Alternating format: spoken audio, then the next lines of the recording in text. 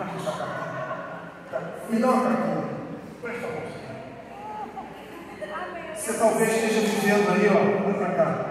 Sua bolsa está cheia de dinheiro. Eu quero dizer para você que não é isso que traz esperança. Oh, oh, olha para cá. Não é isso que te traz esperança. Peguei tua bolsa profética. Não é isso que nos traz esperança.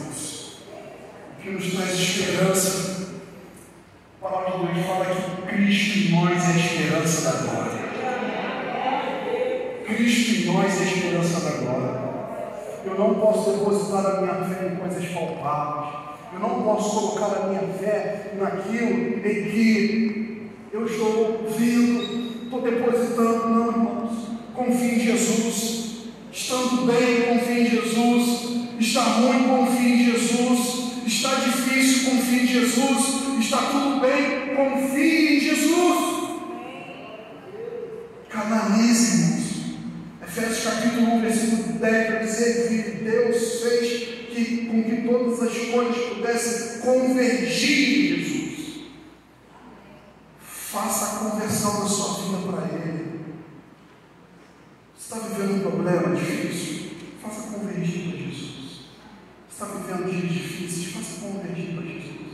Está feliz? Está alegre? Faça convergir para Jesus. É tudo dele. É tudo para Ele.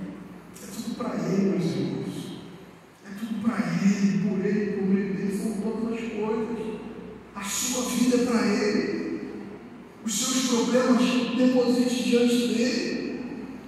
O problema é que a gente está confiando demais nas coisas visíveis e palpáveis. Consegue viver o extraordinário de Deus. A gente não consegue desfrutar das coisas de Deus, porque a gente se agarra às coisas físicas. Nós precisamos confiar naquele que tem sustentado e cuidado de toda a nossa vida. Você não está sozinho nessa luta. Você não está sozinho nesse momento.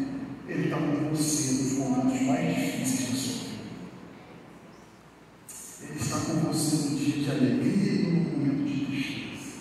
Independente do momento que você está vivendo, Ele está lá. Não pense você que está sozinho.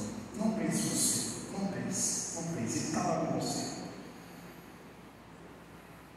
Finalizando, o coração contagiante se manifesta em um ambiente de discipulado e celebração. Acompanhe comigo a partir do versículo 25, onde diz: Ora, o filho mais velho estava no campo. Quando voltava, ao aproximar-se da casa, ouviu a música e as danças, chamou um dos empregados perguntou o que era aquilo. E ele informou. O seu irmão voltou, e por tê-lo recuperado com saúde, bezerro. O filho mais velho se indignou e não queria entrar.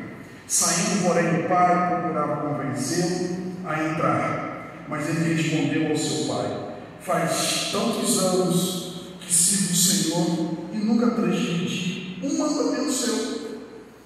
Mas o Senhor nunca me deu um cabrito sequer para fazer uma festa com os meus amigos.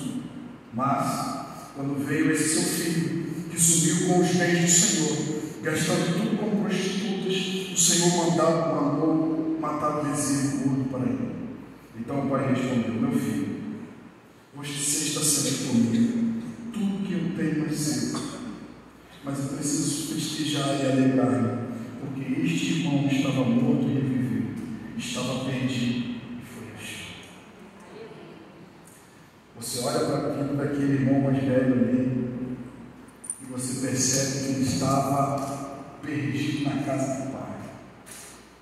Ele não conseguia desfrutar daquilo que o Senhor, daquilo que o pai já tinha posto como banquete para ele. Deixa eu te dizer uma coisa, preste atenção no que eu vou dizer.